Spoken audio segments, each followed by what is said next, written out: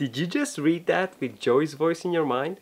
How you doing?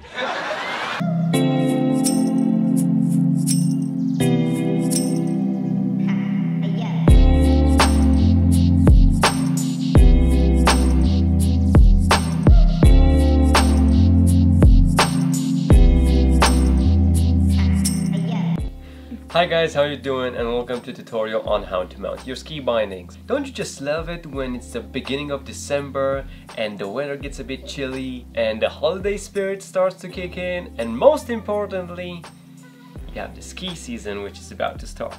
Alright, so if you recently purchased a new pair of skis, you might want to use some of your old bindings on them or maybe you just got a new pair of bindings for your new pair of skis and you want to mount them yourself. By doing so, you might save some money which you can use for the ski pass. Just a quick FYI, if you're looking to buy any kind of sports equipment, try to buy it when it's off season. You might get some pretty good deals and you can save a lot of money. For example, my pair of skis, I got it for like 270 euros and it was on sale from 600 euros or about 55% if, if I'm not mistaken.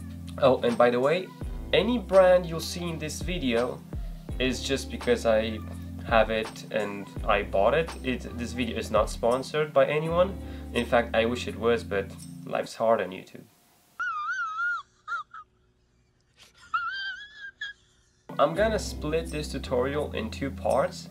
In the first part, we're going to focus on the actual measurement of the ski and where to mark where you're gonna drill the holes. If you don't have any drawing, don't worry, I'm gonna show you exactly how you can make your own drawing. And then on the second part, I'm actually going to drill the holes and mount the binding. Mounting your own bindings is a very delicate and gentle procedure and you really want to be careful. So first thing you'll need is skis.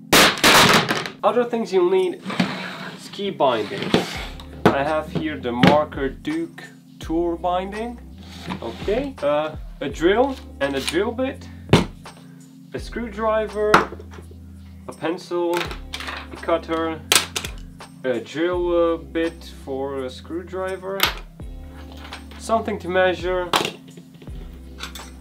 and this I use it so that I can point and mark where I'm gonna drill the holes. If you don't have one of these, just use a nail. A ruler, I like this one because it has this 90 degree edge. Okay. A piece of paper, wristbands, people usually give these for free. And I don't know how this is called in English, but in Romanian it's called șubler. So for the sake of this video, I'm just gonna call it șubler. Drawings, but these are optional. A drill stand, which is also optional. Normal tape, gaff tape, uh, screws for your bindings and make sure not to lose those. A cloth and a piece of wood so that you can test this out. I already made my tests for this tutorial. Your ski boot and the vacuum cleaner. Okay, so for the first part of the tutorial, you're gonna want to clean your ski. So just take a piece of cloth and clean the surface of the ski. You're gonna want to take a piece of tape. Oh my god, this is this is so frustrating.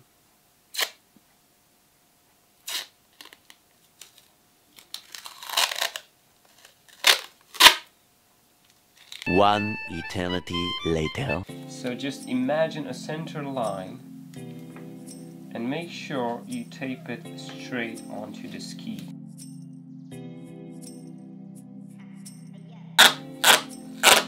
Next thing, you want to look for the recommended mounting point. They usually have it marked on the side of the ski or if it's not on the side, it's gonna be on the front. Check this out. It says surf machine on this side. Good job faction, you just made this pair of skis a lot cooler. In any case, that recommended mounting point is how the ski will perform at its best. If you have other preferences, for example, maybe you want to be a bit more centered, then you can move your binding along the ski. If you don't know what your preference is, just stick to the recommended mounting point. Next thing you want to do is take your ruler and just look for that center mounting point. Draw a line on your piece of tape here so that you know that's the, the boot center or the recommended mounting point. So just take a piece of tape and tape it where the mounting point is just so you know that's where the recommended mounting point is. Next thing you want to do is take your șubler so this tool and you just want to measure the width of the ski and mark just some points along the middle of the ski so that you can draw a line afterwards. Okay, so start by just measuring the width of the ski. So I'm gonna start here. Once you measured and marked several points along the center line of the ski, you can go ahead and actually draw the center line using a ruler. Just simply unite the points You can go ahead and double check just to be sure that your measurement is correct. After you marked the center line of the ski, then you can put the ski aside and focus on the drawing. Let's just say you don't have this drawing. You only have your ski binding. Just take a piece of paper and fold it in half. After you bend the piece of paper in half, just use a cutter or a knife to simply cut it. So once you did this, just put them over one another and use a piece of tape to tape them together. What you want to do is measure this, this piece of paper and as you did with the ski, just mark some middle points so that you know exactly where is the center line of this piece of paper.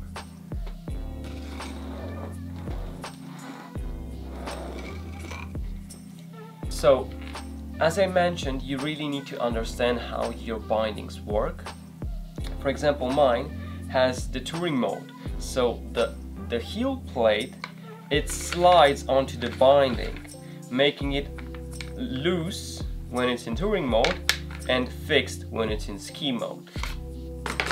Next thing you want to do is take a piece of gaff tape.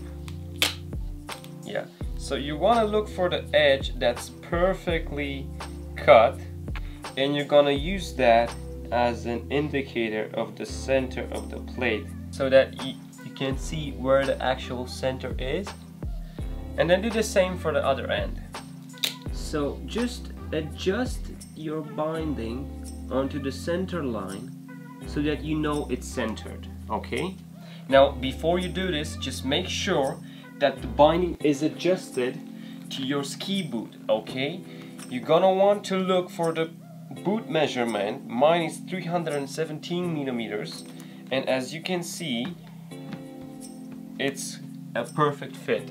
There's a mark right here where the ski boot center is. Okay, just straighten your paper, take your ruler.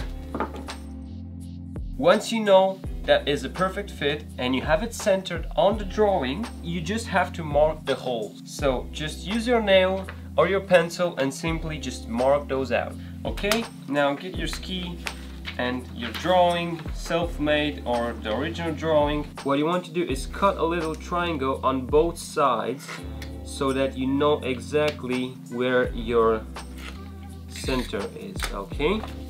And just place that on top. Once you're sure that it is centered, go ahead and just tape it on there. Now that you have your ski all set up for drilling, just drill the holes.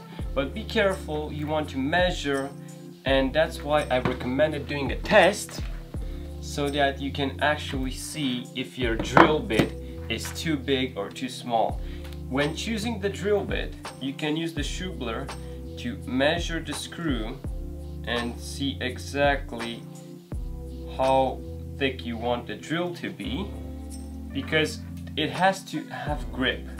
So you want to make sure that the screw has grip and it's a perfect hole.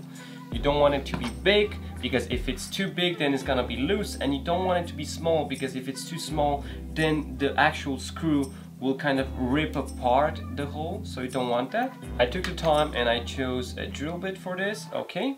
So just take your drill stand if you have one, if not just make sure that you do not drill the, the ski all the way to the other side because if you do it's a ruined ski and you're gonna need to buy a new pair.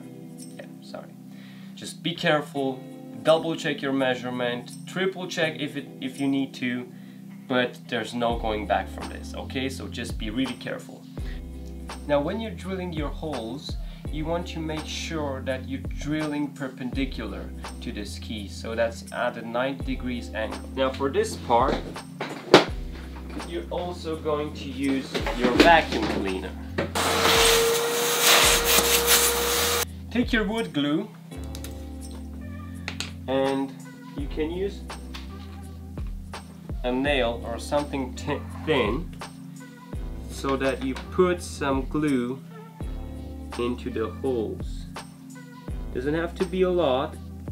Once you've done this, just place your back plate or your binding on top. Take one of your screws and just screw it in. There it is guys, I hope you liked this video, I hope you got something from it. And if you did, hit the like button. If you didn't, just leave a comment in the section below and I will get back to you. Also, subscribe to this channel because there's more content coming up your way. See you in the next one.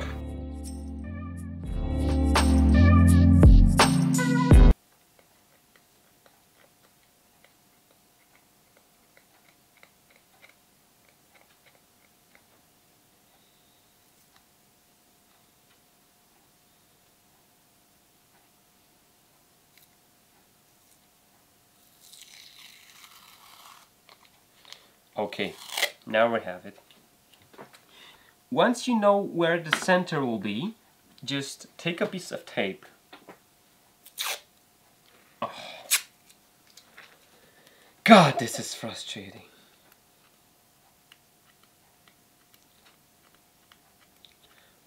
Welcome to the most frustrating eh, video on the internet where I cannot even pull a piece of tape. I'm, I swear I'm not doing this on purpose.